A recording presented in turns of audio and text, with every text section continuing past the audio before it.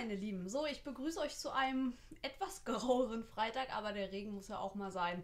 Von daher alles gut und wenn man zu Hause ist und entspannt hier sitzen kann, ist ja auch alles gar kein Problem. Ihr seht schon im Hintergrund, worum es heute geht und ich freue mich sehr darauf, das zu verkosten. Und bevor es morgen nach Habe geht, äh, weil wir sind ja eingeladen, äh, dachte ich mir, kommt heute nochmal das Video und zwar zu dem neuen Teeling ähm, Rosé Wein Cask Finish. Da gucken wir doch direkt mal, wenn ich die Verpackung jetzt wieder aufkriege. Uh, so sieht der aus. Na, also typische Teeling-Flasche, ihr könnt es erkennen.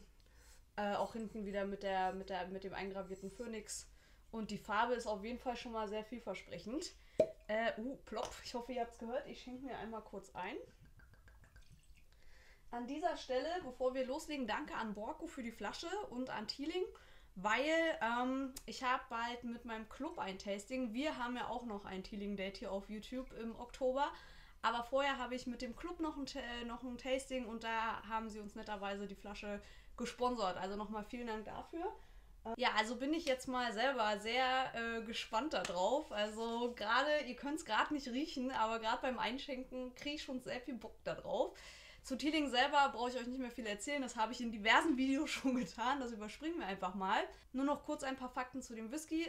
Der Whisky selber ist wieder in Zusammenarbeit mit dem äh, Weingut Reichsrat von Buhl entstanden. Dort fand am 2.9. ja auch übrigens das Event statt, wo der Whisky vorgestellt wurde.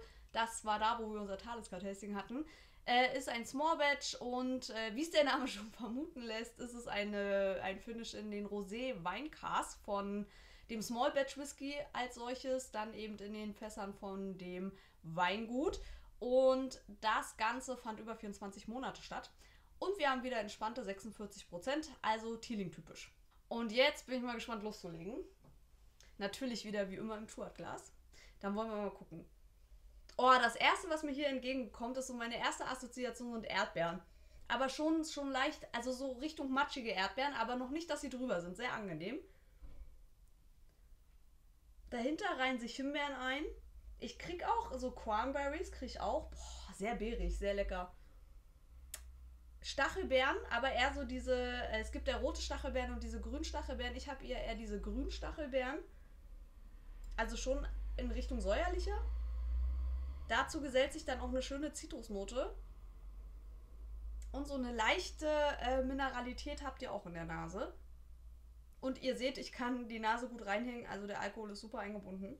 Und meine geliebten Nashi-Burn habe ich hier auch mal wieder. Hatte ich lange nicht mehr, ne?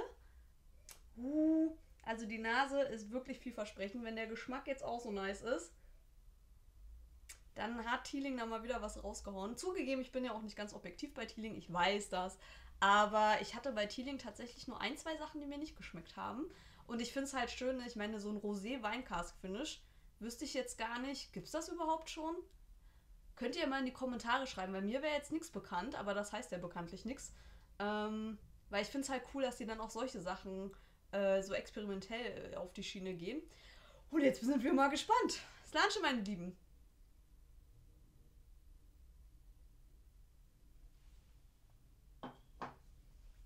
Mm. Oh, krass. Ihr habt direkt so eine Assoziation zu Rhabarber-Kompott. Richtig geil mit Sahne drüber. Mhm, Alkohol auch hier super eingebunden. Merke ich gar nichts von, das ist top. Auch diese hellen Zitrusnoten, die wir schon in der Nase hatten, setzen sich hier fort. Dazu gesellen sich aber auch so Grapefruits, ne? also es wird ein bisschen säuerlicher. Es ist nicht so krass süß zum Glück. Ähm, aber auch diese schönen Beeren, die wir schon in der Nase hatten, finden wir hier wieder. Ne? Über Erdbeere, Himbeere, Stachelbeere. Uh, das ist sehr schön. Und was ich cool finde, das Ganze wird in so ein, so ein, so ein Eichenbett eingebettet. Also ihr habt auch schöne Holznoten bzw. Tannine äh, auch gut mit am Start, was das Ganze so ein bisschen ausgewogen macht. Das heißt, ihr habt so dieses beerige, bisschen süße, bisschen säuerliche und auf der anderen Seite so was Holziges äh, und Würziges. Das gefällt mir echt gut. Der Abgang äh, ist recht lang, bleibt schön fruchtig, also diese Fruchtnote zieht sich wirklich durch, komplett von vorne bis hinten, das finde ich sehr gut. Und ihr habt dann jetzt zum Schluss so eine leichte Espresso-Bitternote, aber im angenehmen Bereich. Ihr wisst, ich mag das. Und was geil ist, stellt euch diesen Espresso vor mit weißer Schokolade. So ist der Abgang. Und mit diesen Beeren so drüber gestreut. Oh ja, das, das könnte ich eigentlich auch mal in echt probieren. Also Espresso, weiße Schokolade, Beeren da drüber. Sehr lecker. Also ich muss sagen, der haut mich schon ein bisschen um. Also ich bin wirklich geflasht. Also dieses Rosé-Weinkars-Finish, das finde ich, schmeckt man. Also ich würde jetzt nicht, ich wüsste bei mir, bei meiner Weinerfahrung, die de facto nicht vorhanden ist, nicht, ob ich jetzt auf ein Rosé-Cast tippen würde. Aber ihr merkt schon diesen Einfluss. Also das ist wirklich schön gemacht. Und ähm, soweit wie ich weiß, liegt der UVP, äh, wartet mal. Soweit wie ich weiß, liegt der UVP bei ähm, 49 Euro. Wenn ihr die Flasche zu dem Kurs kriegt, greift auf jeden Fall zu. Wenn ihr Teeling mögt, wenn ihr Roséwein mögt in Kombination, ist geil. Ähm, also für mich wieder eine total leckere Weinabfüllung in Zusammenarbeit mit Reisrad vom Buhl. Und äh, ich bin echt so ein bisschen geflasht, ne? so durch dieses ungewöhnliche Finish auch. Und wenn, greift auf jeden Fall zu, wenn ihr sowas mögt, ne? Sowas Beeriges, Fruchtiges. Äh, boah, doch, beide Daumen hoch meinerseits. Also da haben sie mal wieder was rausgekloppt hier, würde ich sagen. Und mich interessiert jetzt natürlich, A, gibt es denn schon Whisky mit Roséwein Cast Finish? Wisst ihr darüber was? Weil ich weiß es tatsächlich nicht. Ähm, und B, kennt ihr den denn schon? Habt ihr das mitbekommen, dass da was Neues kommt? Und C, möchte ich jetzt natürlich auch wissen, was ist denn euer liebster Teeling? Solltet ihr da schon Erfahrung gesammelt haben? Ansonsten bleibt mir äh, wieder übrig, euch ein schönes Wochenende zu wünschen. Den einen oder anderen sehe ich ja morgen bei Hubble. Und ich würde mal sagen, wir sehen uns nächste Woche. Ciao, ihr Lieben.